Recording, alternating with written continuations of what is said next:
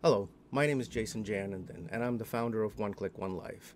Today, I would like to talk to you a little bit about corporate social synergy and the responsibilities that each entity within corporate social synergy has.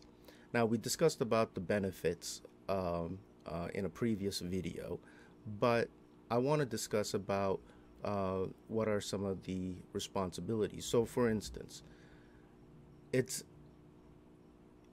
for a social organization, one of their primary responsibility is to educate the public and uh, about a, a, social cause, and they're the best um, uh, entity really to do this. Not necessarily the media, um, not necessarily journalists. It's about an organization that is dedicated to a particular cause.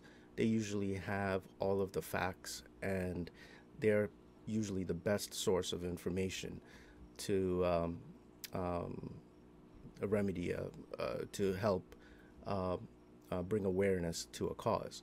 Now, it's also the social, me- uh, social it's also the social organizations' um, responsibility to define a process or or educate the public on how it is that they can actually help out, whether it's providing a pathway to get donations, or um, maybe it's uh, a way to help uh, uh, people volunteer.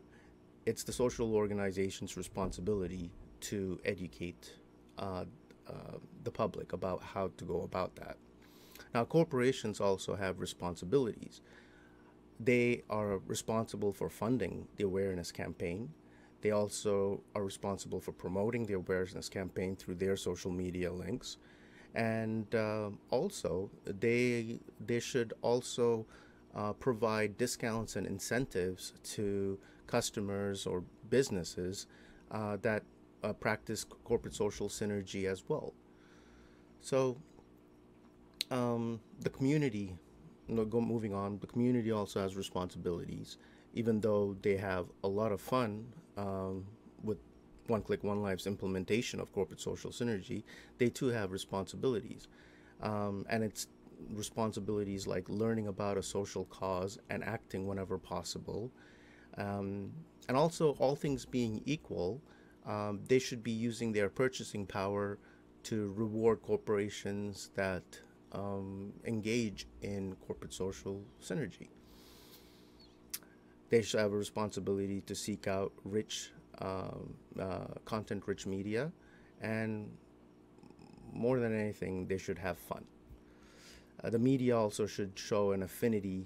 Um, they have a responsibility to show an affinity toward uh, short, uh, socially driven uh, causes um, and content rich posts.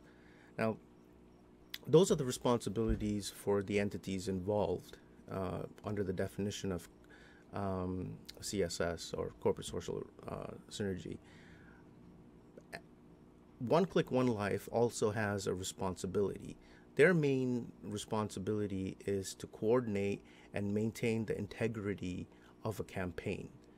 It's uh, we're like a third party that ensures that all of the parties, um, such as social organizations, the corporations, the community, and the media, are all living up to their responsibilities. And so we uh, maintain the integrity of it, we enforce it where we can, and um, uh, all so that all of these entities can realize the benefits of uh, uh corporate social synergy. So that's just a little bit about the responsibilities for each entity. I encourage you to read more in the links below about it and um, um, have fun saving the world. Uh, bye for now.